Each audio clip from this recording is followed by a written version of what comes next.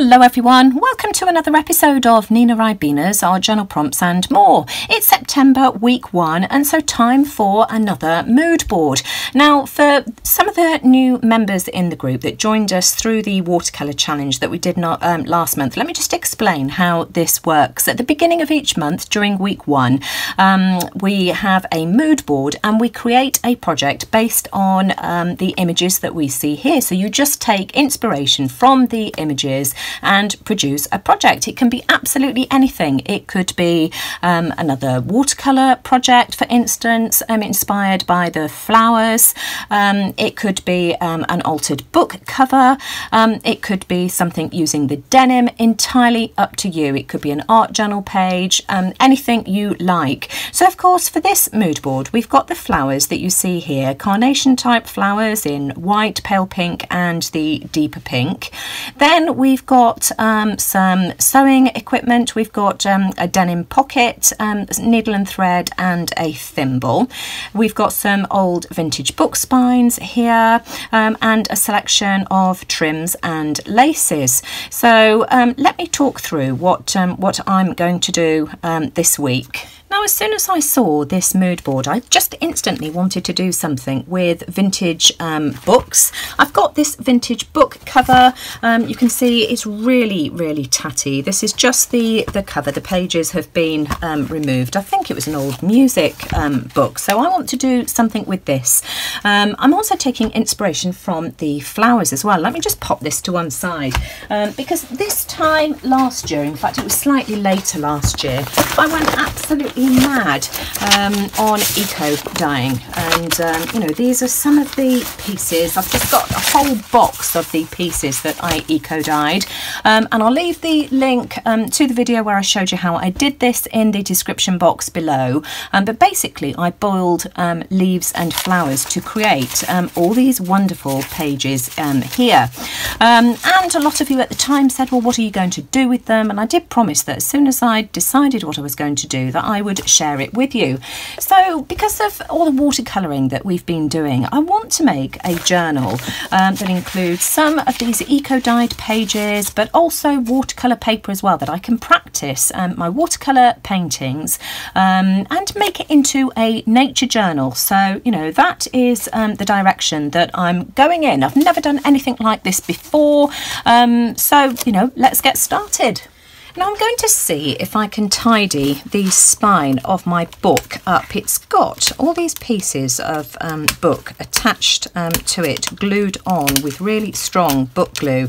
Um, if this doesn't work, then I can take it apart and I can um, replace the spine. But I do want to keep its integrity um, if I can. So I'm just going to use my knife carefully um, just to see if I can remove sort of all these glued on pieces. Okay, so the glue came up nicely and my book is still intact, but you can see that the spine is really flimsy. So what I am going to do um, is I've got um, a piece of chipboard here. This is just um, a, quite a thin piece of picture framing mount board and I'm just going to put that in the centre of the spine there just to give it um, a bit more strength. And I'm going to stick that down with some Fabri-Tac. So let's just put some Fabri-Tac on here. In fact I'm going to do this off my book because I want to keep um, the sort of end pages as they are just because I really like that grungy um, vintage look. I could of course cover those with some pretty papers but you know I'm going for a real vintage theme here and so I don't want to. So I'm just applying plenty of Fabri-Tac here, make sure that I've got plenty um, on the ends, there we go. And then I'm just going to carefully put this um, in the middle. And I've measured this to make sure that it's the, the right length. And then I'm just going to carefully just push that um, into place because I've got um, a bit of wiggle room here um, and then I'm just going to, yeah, that's right, just um, wait, wait that down until it's dry. And Fabric, uh, Fabri-Tac dries really quickly. So my spine um, is glued down now and I just want to cover it in some of this um, cloth here. This is Webtex um, military cloth um, and this will just sort of, you know, give added strength to my binding again. I'm not worried about the fact that it's green because I've got lots of greens in my Eco Dye papers anyway. So actually, um, I think by the time the book is finished, it will match really well. Um, now, I am the type of person that it will bug me if I don't get this completely central. So I've drawn a line in the centre of this um, piece that I added here. Um, and then I know that my cloth measures, let me just make sure that it is, it measures two inches. Um, and so that is going to be completely central by the time I place it on my spine. So let's just have a go and see if I can do this. So I'm going to do the inside um, first. Let's have a look. It doesn't have to be exactly perfect, but I want to try and get it as near as I possibly, as near as I possibly can.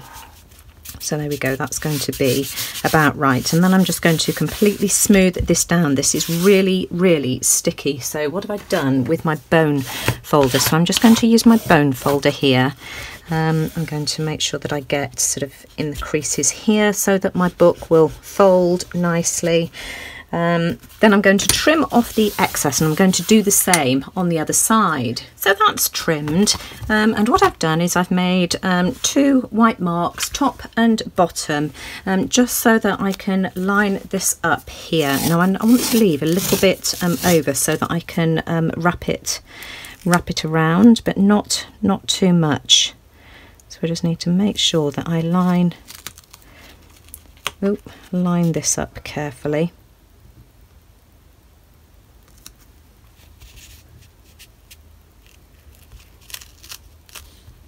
There we go.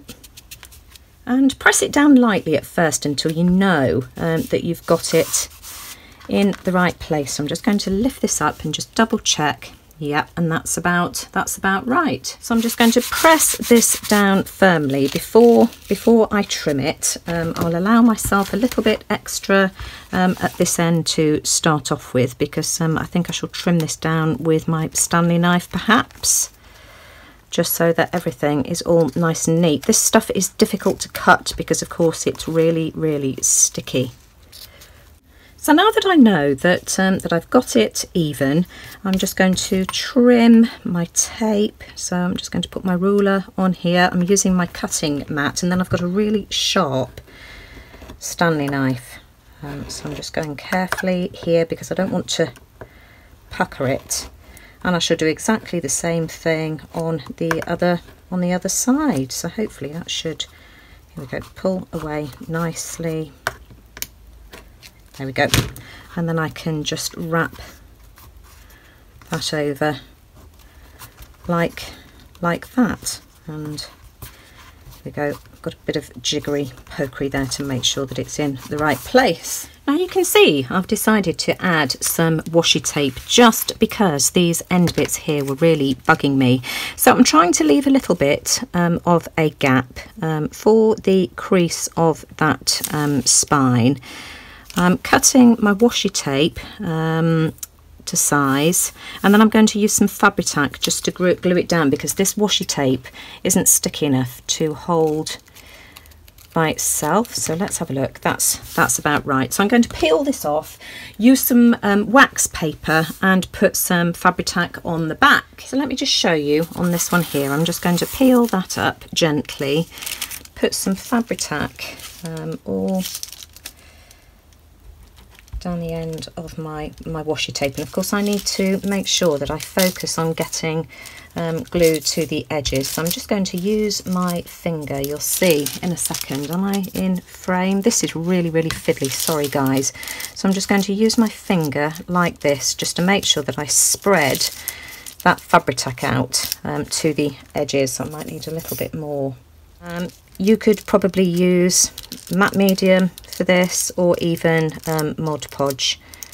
But as I say, the um, it, it just won't stick on its own. That should be enough. So let me just make sure I get this the right way up. So I'm just going to line it, line it up like, like that and take it all the way, all the way down and then just make sure that I press that down with my fingers. Um, and as I've said to you before Fabri-Tac dries really really quickly. And I'll do exactly the same thing with the other side so that's my vintage book prepped and you can see that I've just got some um, bulldog clips on the end, just making sure that that washi um, is firmly stuck and that it's just not going to lift at the edges. So I'm going to leave that for 10 minutes whilst I pull out some bits and pieces to decorate my cover. Um, so of course this is where the um, fun starts. So let me share with you what I've pulled out. Um, I've got a copy of the Nature Notes of an Edwardian Lady um, and I thought I might be able to use this page page here because I want something fairly plain as my backdrop so that I can layer. I've got one of these butterflies from the Tim Holtz Idea-ology. These are the transparent wings and I thought something like, like that might be quite nice to use. I've got a tea stained doily, a piece of burlap, various um, trims and ribbons as well. And then I've got some dried flowers. Let me just grab them. Now when I was eco dyeing uh, my papers, I kept all of the leaves and flowers um, and I just pressed them in this. It's um, something that I picked up from the charity shop Historic Sporting Headlines. Um, some of them are pretty crude, so if I show you something that um, is not particularly appealing, then I apologise. I didn't buy it for that. It was just because the paper um, is just really good for um, pressing pressing flowers, and it's quite a thick book. But just look at some of these. I've got some of the fuchsias as well, maple leaves, although some of them are really delicate, so I thought I might be able to use some of these. Um, and then also, look what I found again. These are leaves left over from my eco dyeing, but look, I've actually found a carnation, so I'm going to try and um, use that somewhere as well. Now, before I do anything, I just want to grunge up the edges of my book even more. This is really nice and sturdy um, now. It's gone a bit misshapen, but by the time I've got my signature in it, um, it will be fine. So I'm just going to use a really tatty old nail file and I'm just going to file around the edges just to grunge it up a little bit more. So I've grunged up the front and I just really like that because it's lightened the area around the edge. So that's the back. I'm going to do exactly the same with the back. Um, and I'm just doing this over my bin just to catch any of the dust. Now, would you believe it, clumsy old me, whilst I was um, reaching for my frayed burlap distress ink, the whole drawer tipped upside down and I've got all of this mess all over the page I was going to use. I was planning on trimming it down anyway, so I'm going to give it a go and see if I can um, rescue it because I can't find anything else um, that is going to do the job any better. Um, I do want to tear the pages just so that they're grungy. Look at the state of me. This is from the cleanup um, action. it's just one of those things, isn't it? Um, now, how am I going to have that fitting on my page? Let's have a look. Yeah, I'm going to tear that across there like like that and this way it just looks a bit more a bit more grungy. Let's have a, a look.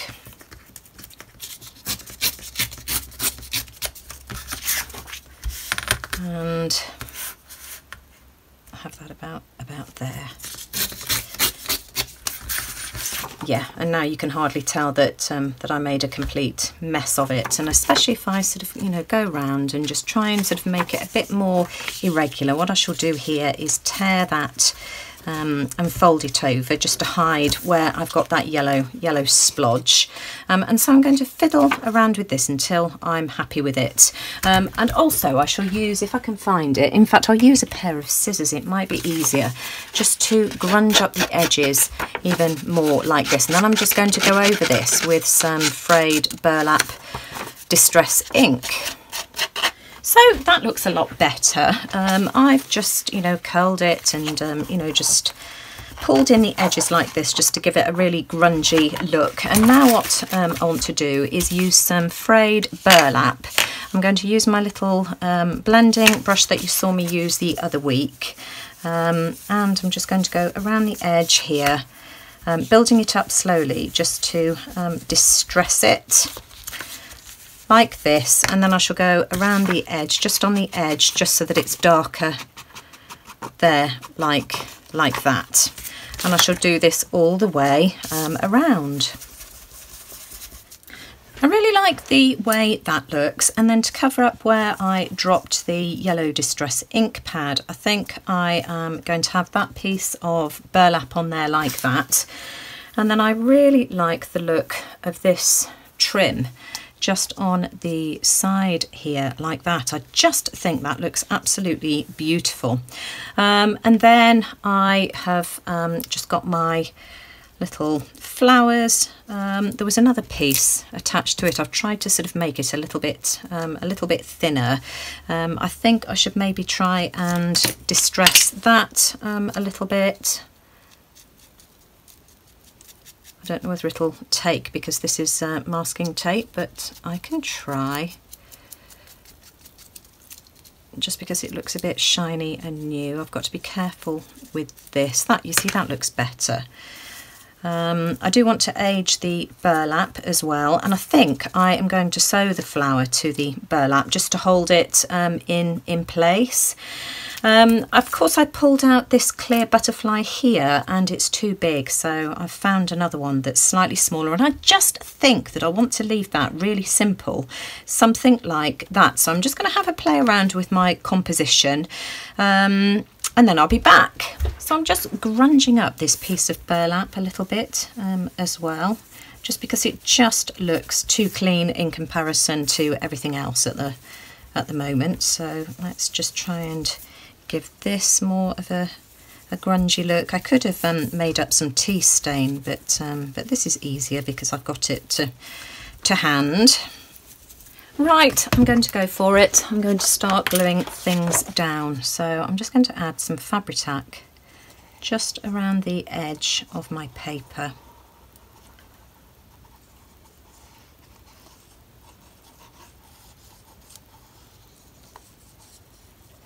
We go, just like this.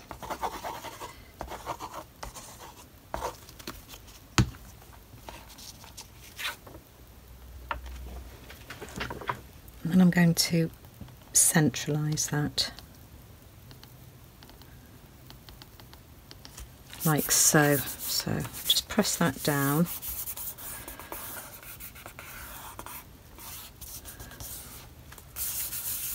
There we go. Um, and then let me just put the trim down. Now I've just trimmed this up as well. Which way round does it go? I think it's that way.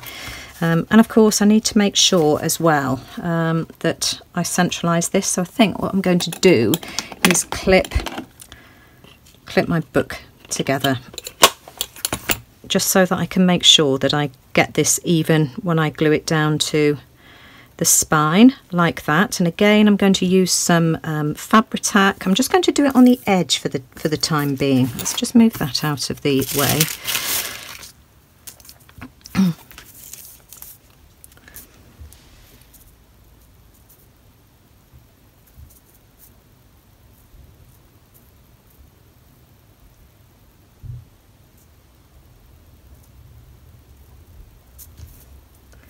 and I shall put some on this line here as well.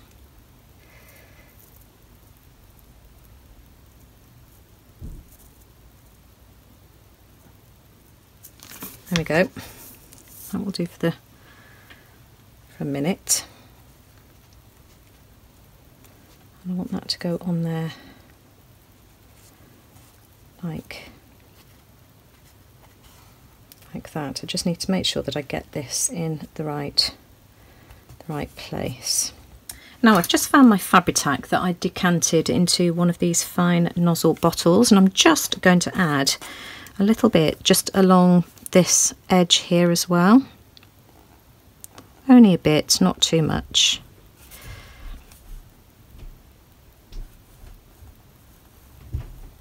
Now Fabri-Tac does have a tendency to show and bleed through fabric so I'm hoping that by doing it on the thicker areas it won't show very much.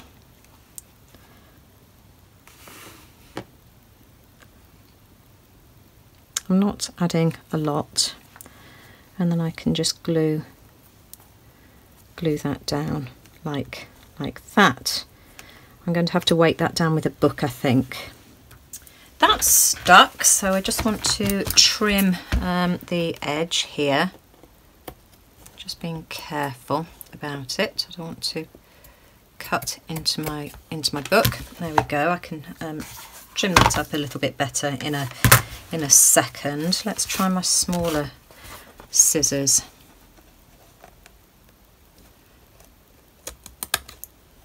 There we go. That's a bit better.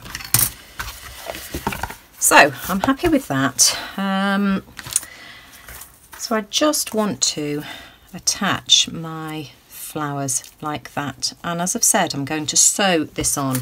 Um, I've threaded a needle and I'm going to try and keep that flat. I want it to fit um, the whole of this piece of hessian and have it hanging off the end so that if this starts to lift for any reason I can cover this with a piece of deli paper just to hold it hold it down. You've seen me do that before on paper but I can't see any reason why it wouldn't work um, on fabric so that would be my last resort. So I'm just going to stitch this. I shall do it off camera though because um, you know it's fiddly and I want to concentrate on what I'm doing. Well, I've changed my mind. I'm coming in through the through the back. Let's see if I can show you how I'm I'm doing this.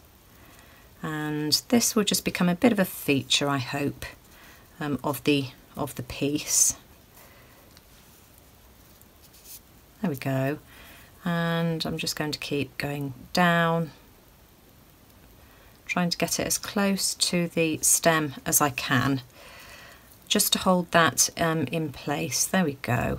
Um, and I might end up putting a few stitches um, at the top of these stems up, up here as well. We'll see how it looks once I've done, done this. Right, I've sewn my flower on. I love how that looks. Um, and I think I've come up with an idea as, as well as to how I can protect it.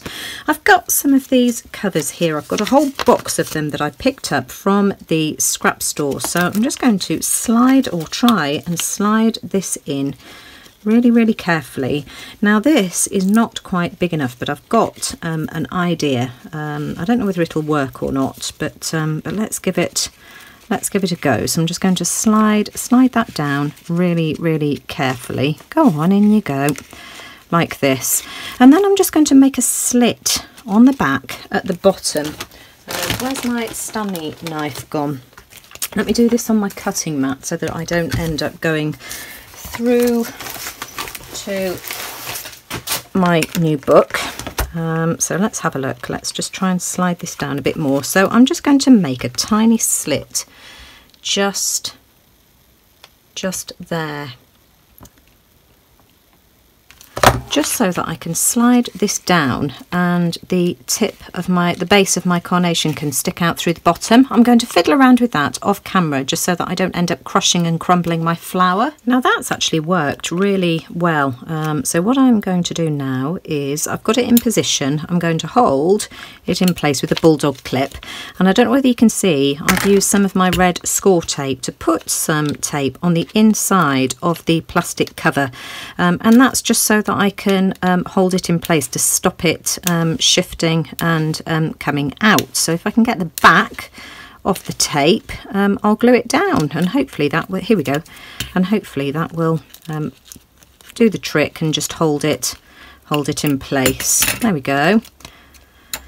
And so I know it's um, plastic, but at least it protects the integrity of my flower. Um, so I'm just going to, um, I think, pop that on with a little bit of Fabri-Tac. So here we go, I'll just add a little bit of Fabri-Tac on the um, back. I don't need much. And decide where I want that to go. Let me stand up so that, um, that I can see about there, I think. So again, I'm just going to have to um, weight that down with a, with a book. I'm really happy with that. Sorry about the glare. Um, that's stuck down really well. I've also added some lace to the um, other side as well, just to just because this just looked really boring and plain. I'm happy with that now. And just to finish off the outside cover, I'm going to add my butterfly there. Again, I'm going to use Fabri-Tac. I know that if I use Fabri-Tac, um, it's not going to go anywhere. So that's why, you know, I'm using it in, in this case. Um, so I'm just going to pop that, where should I have it? There, I think. So I'm just going to have to let that sit and dry. I think I'll flatten, flatten that out.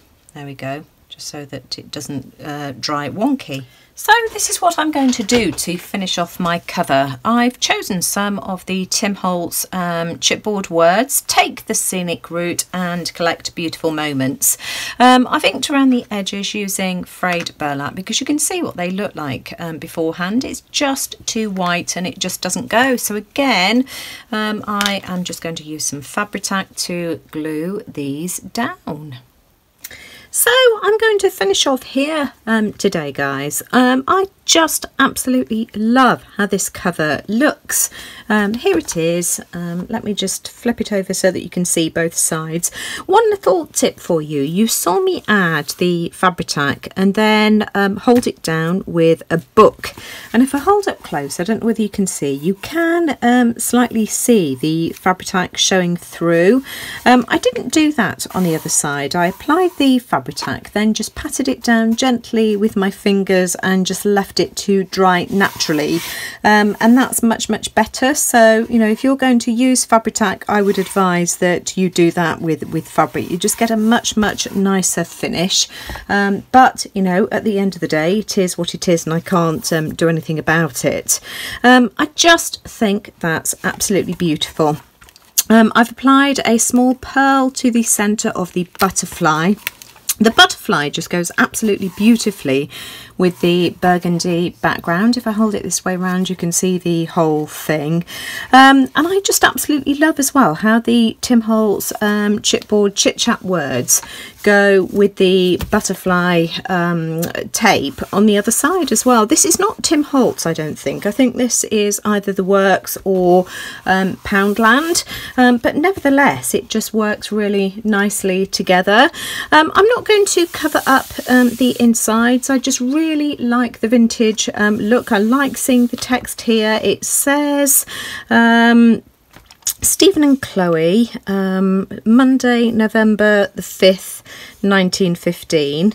Um, what, what else does it say? Um, rehearsal Friday 1.30, November the 19th onwards. Um, so I'm just going to leave that there because I just think that's a really nice reminder of just what was here um, from the previous owners before. I think that's lovely. Um, I like all the mould and mildew as well. This smells really vintagey, which I personally um, happen to, to like. Um, and I will do the signature with you at another stage as well. I'm not going to do it today because I've run out of time. Um, this is a half an hour video, but this has taken me considerably longer to finish this up than the half an hour that you are seeing here. It's taken quite a few hours today, um, and I don't want to rush the signature inside. I want to um, take my time putting the pages together and really having a think about how I want to use it. So I really do hope that you've enjoyed the video today. Um, I think I've used most of the elements in the mood board with the exception of the denim. Um, certainly use the um, the laces that, that were shown. I've got the vintage feel going on. I've used the books. Um, certainly the flowers and even um, flukily managed to um, incorporate um, the carnations as well.